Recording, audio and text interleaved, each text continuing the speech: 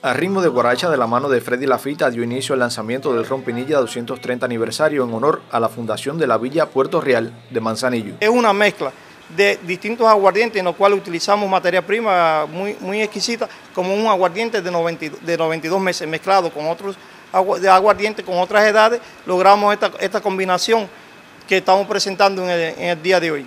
Esta bebida fabricada en la oriental urbe de Manzanillo prestigia la tradición ronera de más de 106 años que distingue a esta región costera de Cuba. Este es un producto que se hizo para, esta ocasión, pero por las características que tiene, consideramos que debíamos mantenerlo en nuestra cartera de productos para seguir comercializando. Por supuesto, no a grandes escalas, pero sí mantener una, una pequeña presencia de él en el mercado.